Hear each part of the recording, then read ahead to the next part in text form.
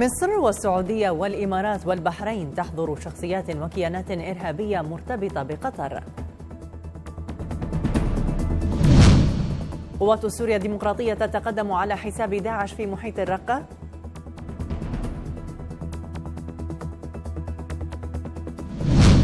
والكوليرا تقتل مئات الأشخاص وتهدد حياة آلاف آخرين في اليمن. أسعد الله صباحكم بكل خير مشاهدينا الكرام وأهلا بكم إلى نشرة اليوم المفصلة من أخبار الآن. أعلنت كل من السعودية والإمارات والبحرين ومصر أنها اتفقت على تصنيف 59 فردا و12 كيانا في قوائم الإرهاب والمحظورة لديها والتي سيتم تحديثها تباعا والإعلان عنها. وشدد بيان الدول الأربع على أن القرار جاء في ضوء التزامها بمحاربة الإرهاب وتجفيف مصادر تمويله ومكافحة الفكر المتطرف والعمل المشترك للقضاء عليه. إذ أن السلطات في الدوحة مستمرة في انتهاك الالتزامات والاتفاقات المتضمنة التعهد بعدم دعم أو إيواء أفراد أو منظمات تهدد أمن الدول وأن السلطات في الدوحة تجاهلت الاتصالات المتكررة التي دعتها للوفاء بما وقعت عليه في اتفاق الرياض سنة 2013 والاتفاق التكميلي سنة 2014 وهذا ما عرض الأمن الوطني للدول الأربع للاستهداف بالتخريب ونشر الفوضى من قبل أفراد وتنظيمات إرهابية مقرها في قطر أو مدعومة من قبلها. وأكدت الدول الأربع أن القائمة المدرجة مرتبطة بقطر وتخدم أجندات مشبوهة في مؤشر على ازدواجية السياسة القطرية. وجددت الدول الأربع التزامها بدورها في تعزيز الجهود لمكافحة الإرهاب وإرساء دعائم الأمن والاستقرار في المنطقة. كما ستستمر في العمل مع الشركاء في جميع أنحاء العالم بشكل فعال للحد من أنشطة المنظمات والتنظيمات الإرهابية والمتطرفة. وأكدت الدول السعودية والإمارات والبحرين ومصر شكرها للدول الداعمة لها في إجراءاتها في مكافحة الإرهاب والتطرف والعنف. قال وزير الدولة الإماراتي لشؤون الخارجية أنور قرقاش في تغريدة له على موقع تويتر إن التصعيد الكبير المربك والمرتبك من دولة شقيقة وطلب الحماية السياسية من دولتين غير عربيتين فصل جديد مأساوي وهزلي. وقال الوزير الإماراتي إن هذه الدولة ترى خلاصها الآن في الدعم الخارجي بعدما تدخلت في شؤون العرب مقوضة استقرارهم. دعت مصر إلى فتح تحقيق دولي بشأن اتهامات لدولة قطر حول دفع فدية تبلغ مليار دولار للجماعات الإرهابية في العراق. وخلال جلسة لمجلس الأمن الدولي عد نائب مندوب مصر لدى الأمم المتحدة إيهاب مصطفى أن دفع فدية للإرهابيين يخالف قرارات مجلس الأمن. أن دولة قطر قامت بسداد ما يقارب مليار دولار. لتنظيم إرهابي يعمل في العراق للإفراج عن عدد من أفراد الأسرة الأميرية المختطفين والمحتجزين لدى هذا التنظيم عندما كانوا في رحلة صيد بالعراق. إن مثل هذا الانتهاك الخطير لقرارات مجلس الأمن إن ثبت صحته ستكون له انعكاسات هامة على جهود مكافحة الإرهاب. ونقترح قيام المجلس بالتصديق على إجراء تحقيق شامل في هذه الواقعة وربما غيرها من الوقائع ذات المماثلة.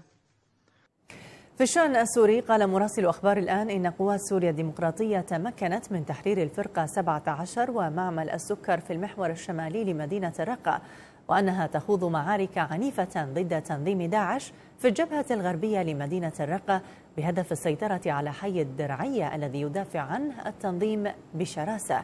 وفي الجهة الشمالية تحاول القوات الديمقراطية اقتحام حي الرميلة الذي يعد أكبر أحياء المدينة.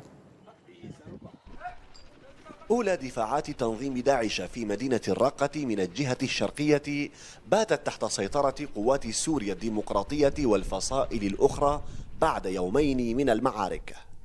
كاميرا أخبار الآن دخلت حي المشلب الذي يعد منطلقا للعملية العسكرية الجارية الهادفة لتحرير الرقة كاملة من داعش فيما تستمر عملية التقدم على المحاور الأخرى. رقا دجي شري باجار كبر و بيج دا چوندنك هيا.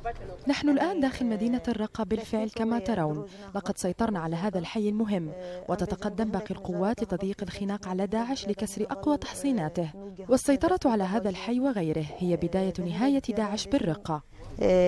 جين جرين جول در دورا باجير هاتيا جرتن القوات المشاركة وضعت خطة عسكرية دقيقة بالتنسيق مع طائرات التحالف الدولي التي تتلقى إحداثيات من قبل عناصر الرصد على أرض المعركة. وقد ساعدت عمليات القصف المركز على تدمير تحصينات التنظيم وتهاويها أمام أفراد كتائب المشاة المتقدمة. البارح دخلنا مدينة الرقة. سيطرنا على 35% في مدينة المسلمية والآن الآن تحت سيطرة رفاقنا هي. والحملة الآن تسير يعني تتقدم. بتحرير حي المشلب ونقاط أخرى لم تفصح عنها غرفة عمليات المعركة لحساسية موقعها. تكون الرقة قد دخلت فصلا جديدا يقضي بالإجهاز على حصن داعش في سوريا وعاصمته التي طالما تغنى باحتلاله لها.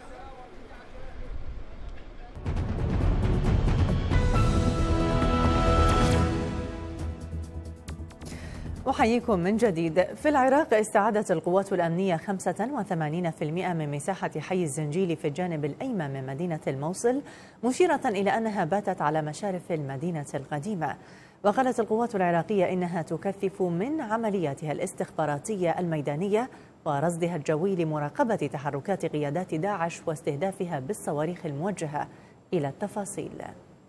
بعد معارك عنيفة بين قطعات الشرطة العراقية وتنظيم داعش الإرهابي في الجانب الأيمن من الموصل أعلن قائد الشرطة الاتحادية الفريق رائد شاكر جودة اليوم الأربعاء عن استعادة 85% من مساحة حي الزنجيلي في الجانب الأيمن من المدينة مبينا أن القوات وصلت إلى باب سنجار على مشاريف المدينة القديمة وأضاف أن القطعات تتقدم بحذر شديد إثر قيام داعش بتلغيم المباني والمنازل والشوارع وأعمدة الكهرباء وعجلات المواطنين. كما قال الناطق باسم قيادة العمليات المشتركة العميد الركن يحيى رسول إن قطعات المحور الشمالي فرضت سيطرتها الكاملة على المدينة القديمة وأن هذه العمليات أسفرت عن مقتل 34 من عناصر داعش بينهم القيادي المكنى بأبي البراء التونسي المسؤول عن معامل تصنيع العبوات في الموصل القديمة. وفي الجانب الآخر أكد عضو مجلس محافظة نينوى حسن سبعاوي أن القوات الأمنية بشتى صنوفها تحرز تقدما جيدا ومحترفا برغم المعوقات المتمثلة بوصولها إلى الأزقة الضيقة وحرصها على أرواح المدنيين. كما ذكرت وكالة روسية بأن تنظيم داعش استخدم للمرة التاسعة الغازات الكيميائية في قصف المدنيين الهاربين من سطوته في الساحل الأيمن لمركز نينوى شمال العاصمة العراقية بغداد. مكتب حقوق الإنسان التابع للأمم المتحدة هو الآخر أكد أن لديه تقارير عن تصاعد كبير في أعداد المدنيين العراقيين الذين يقتلهم التنظيم الإرهابي أثناء فرارهم من الموصل. وأضاف المكتب أن لديه أيضا تقارير عن سقوط ما بين 50 و 80 قتيلا في ضربة جوية لمنطقة زنجيلي في الواحد والثلاثين من الشهر المنصرم وأشار المكتب في بيان له أن هناك تقارير موثوق بها تشير إلى مقتل أكثر من 231 مدنيا أثناء محاولتهم الفرار من غرب الموصل منذ 26 مايو أيار من بينهم 204 على الأقل خلال ثلاثة أيام في الأسبوع الماضي وحده. التقت أخبار الآن موصليين نجوا للتو من احتلال داعش في منطقة الزنجيل الواقعة شمال غربي الموصل القديمة. بينهم امرأة أصيبت برصاص قناص من التنظيم في ساقها. نتابع. عائلتي زوجي قتل راح بالقصف. مرت حتى ما نعرف لا جت معايا بناتي بناتي غادي. الولد سعفاني ليهن. أبويا ما نعرف. أبويا ظل ما يعترفون بينا بس بعوائلهم هم. هذا ببيوتنا ببيوتنا قاعدين. ناكل نشرب نموت نعيش نطيب مشكلتكم. أنتوا ما تحبونا وإحنا ما نحبكم. يا ننطبق معاهم يا. أنتوا بالدولة؟ نقول له لا. مشكلتكم. أنتوا بالدولة؟ مشكلتكم. من نقول له ما بالدولة هذا مشكلتكم روحوا. يابا انطونا شوية تمن. ما بالدولة؟ عندكم أحد بالدولة؟ يابا ما عندنا. نبوت ننطيكم لا لا ما يسمحون مستحيل. شوف شفنا الويل إحنا. إيش نسمح تعبنا حيل تعبنا. ما نصدق أصلا إحنا نفسنا. هذا وروت منار التي نجت من داعش في منطقة الزنجيلي. روت قصة صديقتها سمية التي تزوجت قبل احتلال داعش للموصل بسنة. لتكتشف بعد ذلك أن زوجها منتم إلى هذا التنظيم. مؤكدة أن سمية حاولت التخلص منه إلى أن ما تسمى بالمحكمة الشرعية التابعة لداعش رفضت تطليقها. صديقتي سمية آه، يعني هي تزوجت ورحنا على الزواج معنا قبل ما يفوتون داعش. بعدين ورا الزواج بفترة تقريبا سنة هيجي آه، طبوا علينا. فأش راح زوجها هو راح عليهم صار وياهم. وراها فترة يعني عافت وتطلق منه بس هم ما ينطون حقوق للمرأة. يعني ما حتى بعد ما تقدر تعوف غصب عنها عايشة وياه. يعني وظلت وياه هاي السنين بس بمذلة عايشة. راحت على المحكمة قدمت الشكوى قالوا لها يا أنت يعني تخلعي. إذا تقول لهم هي شنو شغلات يعني بايخة؟ يعني ما تقبلي الزواج عليها أو تريد تعوف ويا ما تتحمل العيشة وياه ما تقدر تقول لهم على مود هو داعش. إذا تقول لهم هيك غير تهم تاكل علس. فما تقدر تقول لهم على مود هو داعش. تقول لهم يعني أنا ما أريد هاي والله ما عندك عذر. تعيشين معه غصبا عنك. بس أنا ما أعرف كل شيء إحنا صار لنا شهرين ببيتنا ما نطلع باب الحوش. أعربت منظمة الأمم المتحدة للطفولة يونيسف عن قلقها حيال التهديد الذي يطال حياة مئة ألف طفل في غرب الموصل حيث تخوض القوات العراقية معارك لطرد أفراد داعش. التفاصيل في تقرير الزميلة ديما نجم. مع اشتداد المعارك بين القوات العراقية ومسلحي تنظيم داعش في الجانب الغربي من الموصل يعيش نحو مئة ألف طفل تحت تهديد الموت. بيان لمنظمة الطفولة اليونيسف أوضح أن ما يقدر بمئة ألف فتاة وفتى لا يزالون يرزحون تحت وطأة ظروف بالغة الخطورة في المدينة القديمة ومناطق أخرى من غرب الموصل وأن عددا منهم عالقون وسط إطلاق النار المتبادل. لفت البيان إلى أن بين هؤلاء من أجبر في بعض الحالات على المشاركة في القتال والعنف.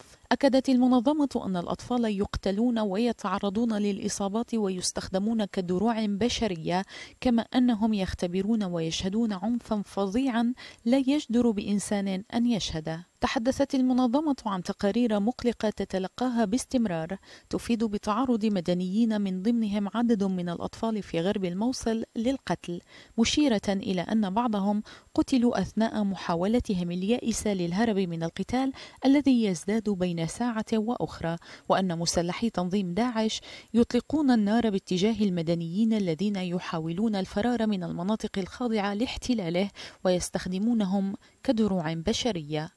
ومع استمرار القتال دعت اليونيسف جميع الأطراف في غرب الموصل إلى حماية الأطفال وإبعادهم عن الأذى في جميع الأوقات وذلك بموجب التزامات جميع أطراف النزاع بالقانون الإنساني. وشددت يونيسف على أن الهجمات على المدنيين وعلى البنى التحتية المدنية بما فيها المستشفيات والعيادات والمدارس والمنازل وشبكات المياه يجب أن تتوقف فوراً. في الشأن اليمني تتزايد مخاوف اليمنيين والمنظمات الدولية من خروج وباء الكوليرا عن السيطرة بعد ارتفاع عدد حالات الوفيات في البلاد لتصل إلى نحو 800 حالة منذ بدء تفشي الوباء في شهر أبريل نيسان الماضي بحسب آخر الإحصاءات المعلنة من قبل منظمة الصحة العالمية التي أكدت أنه جرى تسجيل أكثر من 100 ألف حالة إصابة بالكوليرا. أعلنت منظمة الصحة العالمية ارتفاع عدد حالات المصابين بوباء الكوليرا في اليمن إلى أكثر من 100 ألف حالة منذ بدء تفشي الوباء في السابع والعشرين من أبريل الماضي. وقال المتحدث باسم المنظمة إنه تم الإبلاغ عن أكثر من 100 ألف حالة إصابة بالكوليرا. توفي منها 789 شخصا في 19 محافظة بسبب الوباء. وكانت منظمة الصحة العالمية قد أعلنت أن التفشي لم يبلغ ذروته بعد مضيفة أن عدد وفيات الكوليرا زاد نحو 50% منذ السابع والعشرين من مايو الماضي. وأشارت إلى أن الفترة من السابع والعشرين من أبريل حتى الرابع من يونيو كان هنالك 86 ألف حالة اشتباه في الكوليرا في 19 من بين محافظات اليمن البالغ عددها 23 محافظة. وبحسب منظمة الصحة العالمية فإن وباء الكوليرا يمكن الوقاية منه ومعالجته ولا ينبغي وقوع المزيد من الخسائر في الأرواح بسبب هذا المرض. وإن كل تأخير في الدعم يؤدي إلى إصابة المزيد. ويسبب الكوليرا إسهالا حادا يمكن أن يودي بحياة المريض خلال ساعات. والأطفال الذين يعانون من سوء التغذية وتقل أعمارهم عن خمس سنوات هم الأكثر عرضة لخطر الإصابة. من جانبها قالت منظمة أوكسفام الدولية الإنسانية في تقرير نشره موقعها الإلكتروني إن وباء الكوليرا المتفشي في اليمن يقتل شخصا واحدا تقريبا كل ساعة. وأضاف التقرير أنه إذا لم يتم احتواء وباء الكوليرا فإنه سيهدد حياة آلاف الأشخاص في الأشهر المقبلة. ودعت المنظمة في تقريرها إلى بذل جهود كبيرة في مجال المساعدات والوقف الفوري لإطلاق النار للسماح للعمال الصحيين والعاملين في مجال الإغاثة بمعالجة تفشي المرض. وقال التقرير إنه خلال الأشهر المقبلة يمكن أن يصل عدد حالات الإصابة بالكوليرا في اليمن إلى 150 ألف حالة. مع وجود توقعات تجعل التقديرات تصل إلى 300 ألف حالة. تتواصل اجتماعات مجموعة الاتصال حول المتوسط لوضع خطط لوقف تدفق المهاجرين من ليبيا إلى أوروبا. يأتي هذا في الوقت الذي تواصل فيه ليبيا ترحيل عدد من المهاجرين غير الشرعيين إلى بلدانهم الأصلية بالرغم من الظروف الأمنية الصعبة التي تعيشها البلاد. إلى التفاصيل. عملية عودة طوعية لعدد 26 شخصا من نيجيريا تمت صباح اليوم بعد أن اختار هؤلاء المهاجرون الذين أفضوا موقوفين بمراكز الإيواء العودة طوعيا إلى بلدانهم الأصلية. مثل هذه العمليات تتم عادة بإشراف من منظمة الهجرة الدولية وبالتعاون مع مراكز مكافحة الهجرة غير الشرعية في ليبيا بعد أن يتم إصدار وثائق سفر لهم والتحقق من هوياتهم. اليوم عندنا عملية عودة طوعية لعدد 26 شخص من دولة نيجيريا معظمهم من النساء. العملية جت بالتعاون مع مركز مصاتة مركز الهجرة غير الشرعية مصاتة كراريم. طبعا قمنا بمجرد أن وصلوا للمركز قاموا بالتواصل معنا إحنا المكتب قمنا بزيارتهم وبالتنسيق مع المركز. قمنا بإصدار وثائق سفر للأشخاص اللي ما عندهم الجوازات بالتعاون مع السفارة سفارة نيجيريا في طرابلس.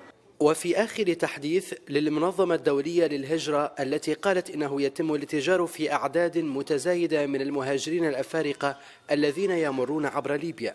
وفي آخر إحصائية للمنظمة فإن أكثر من 350 ألف مهاجر متواجدين حاليا في ليبيا. 93% منهم غادروا بلدانهم بسبب الأوضاع الاقتصادية فيما اختار 23% العودة الطوعية إلى بلدانهم.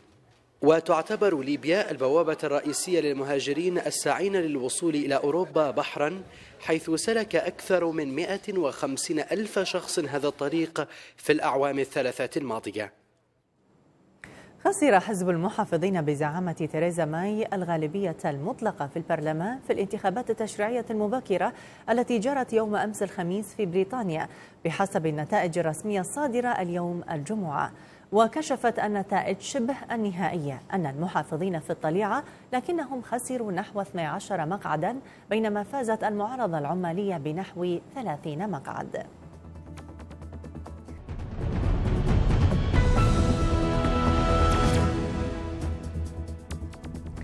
أحييكم من جديد. شهر رمضان يعد فرصة عظيمة للراغبين في إنقاص الوزن والتخلص من السمنة وأمراض القلب المختلفة. ولكن توجد عادات خاطئة في شهر رمضان التي يجب تجنبها لتحقيق الهدف من الصوم ووقاية الجسم من الأمراض المختلفة. فما هي العادات الغذائية الخاطئة التي يتبعها الصائم في شهر رمضان؟ الإجابة مع الزميلة منى عواد معدة فقرة التغذية في أخبار الآن.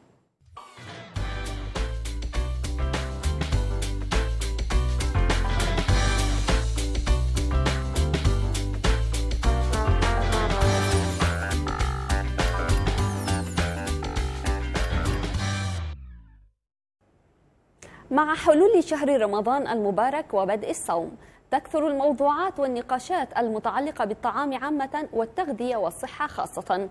وكل ما يجب وما لا يجب القيام به في هذا الشهر الكريم الذي يجلب معه كثيرا من التغير في عادات الأكل والشرب.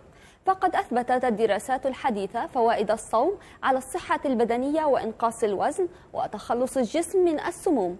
لكن في المقابل يميل بعض الناس إلى قلة الحركة أثناء شهر رمضان ويلجأ البعض إلى النوم بعد الإفطار إلا أن النوم بعد تناول وجبة طعام كبيرة ودسمة قد يزيد من خمول الإنسان وكسله. أخصائية التغذية والصحة لما النائلي حدثتنا عن العادات الخاطئة في رمضان. نتابع. من أهم العادات الخاطئة اللي بيعملها الأشخاص الصائمين بشهر رمضان الكريم هو الاستلقاء مباشرة بعد تناول وجبة الإفطار الرمضاني. آه، طبعا بتلاقي كل الأشخاص مستلقين فورا بعد الوجبة. هذا الشيء بيسبب عسر هضم نفخة غازات. هذا الشيء طبعا أكيد بيسبب للأشخاص آه، تخمة وممكن يصير عندهم مشاكل صحية تأثر على صحتهم بشكل عام. كرمال هيك بدنا نقول آه، يجب مضغ الطعام جيدا على وجبة الإفطار الرمضاني. وتجنب الاستلقاء مباشرة أو آه، من ننام ممكن أنه نرتاح شوي. آه، وما ناكل فواكه وحلويات مباشرة بعد وجبة الإفطار. نترك آه، ساعة ونص لساعتين مشان نعطي فرصة للأكل يلي تناولناه على وجبة الإفطار أنه ينهضم بشكل صحي ومثالي. وتذكر دائما غذاؤك حياتك. ونتحول وإياكم مشاهدينا إلى مختاراتنا من الصحافة العربية لهذا اليوم.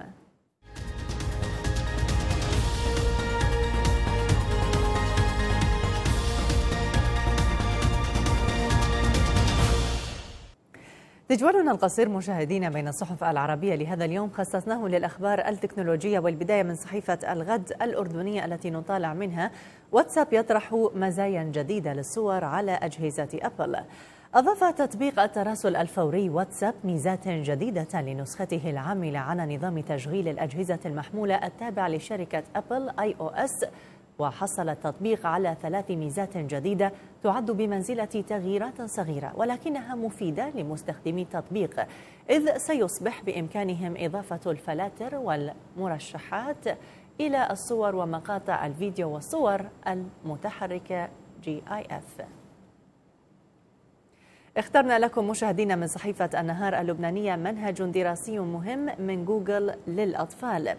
تعمل شركة جوجل العملاقة على إطلاق برنامج تعليمي يهدف إلى توعية الأطفال حول التصيد الاحتيالي ومضايقات الإنترنت وكلمات المرور وقضايا أمن الإنترنت الأخرى. البرنامج الجديد يعالج المواضيع ذات الصلة بجميع الأعمار ويتضمن أقساما حول كيفية الحد من مشاركة المعلومات الشخصية مع الأشخاص عبر الإنترنت وتجنب الوقوع في عمليات الخداع أو هجمات التصيد الاحتيالي وإنشاء كلمات مرور قوية وتجنب السلوك السلبي عبر الإنترنت. صحيفة اليوم السابع المصرية مشاهدينا عنونت بين صفحاتها فيسبوك يطور أدوات جديدة للمساعدة على إغاثة ضحايا الكوارث الطبيعية. أعلن موقع فيسبوك عن خططه لاستخدام برامجه لتقديم خدمات الطوارئ ومساعدة المتضررين من الكوارث الطبيعية. ولتحقيق ذلك أنشأ فيسبوك ثلاثة أنواع مختلفة من الخرائط لمساعدة السلطات على تتبع الناجين بعد وقوع كارثة طبيعية. وحتى الآن أكد فيسبوك أن اليونيسف والصليب الأحمر وبرنامج الأغذية العالمي سيكونون المنظمات الوحيدة التي لديها إمكانية الوصول إلى البيانات. ومن صحيفة الإمارات اليوم مشاهدينا نقرأ إنتل تطرح معالجات جديدة تنفذ تريليون عملية في الثانية. أعلنت شركة إنتل المتخصصة في مجال صناعة المعالجات عن إعادة تنشيط المعالجات المخصصة للعمل على الحسابات المكتبية. المعالجات تحمل اسم كور أكس وتعمل ب 18 محورا لتوفر أسرع معالج مكتبي عرفه العالم على الإطلاق قادر على تنفيذ تريليون عملية في الثانية. وختاما مشاهدينا من صحيفة القدس تعرف على تقنية جديدة ستلغي بطاقات الصعود للطائرة. أعلنت شركة الخطوط الجوية الأمريكية جيت بلو عن خططها لاستعمال تقنية المسح الضوئي للوجه بدلا من بطاقات الصعود التقليدية. وتحاول التكنولوجيا الجديدة مساعدة الركاب في الوصول إلى مقاعدهم بطريقة أسرع مع تقليل الجهد اللازم في حال كانت التقنية تعمل بشكل صحيح وموافقة الركاب على الآثار المترتبة على الخصوصية.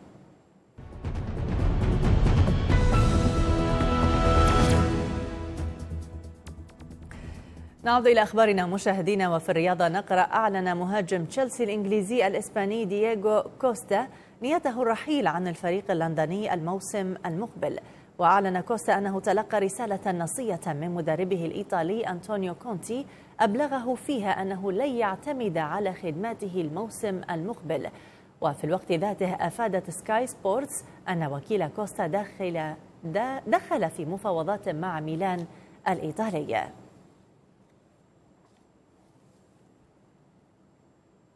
وفي خبرنا الأخير وافق النجم الأرجنتيني ليونيل ميسي مبدئيا على تمديد عقده مع فريقه برشلونة حتى سنة 2022 إذاعة كاتالونيا أكدت أن والد ميسي ووكيل أعماله وصل إلى برشلونة واتفق مع الإدارة على بنود العقد الجديد الذي سيمنح ميسي راتبا سنويا يصل إلى 30 مليون يورو إضافة إلى رفع قيمة الشرط الجزائي لفسخ عقده من 250 مليون يورو إلى 400 مليون. ومن المقرر أن يعلن عن تمديد العقد يعلن نهاية الشهر الحالي.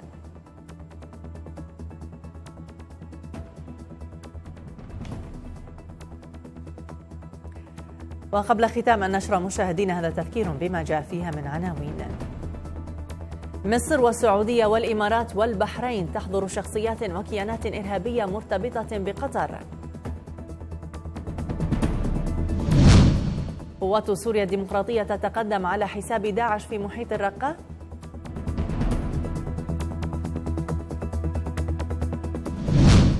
والكوليرا تقتل مئات الأشخاص وتهدد حياة آلاف آخرين في اليمن.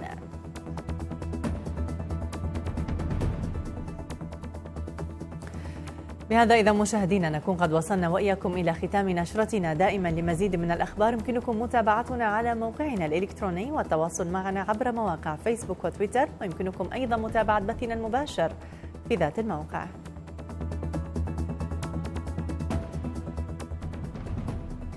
أعود ألتقيكم مشاهدينا بعد أقل من نصف ساعة في موجز الأنباء. كونوا معنا.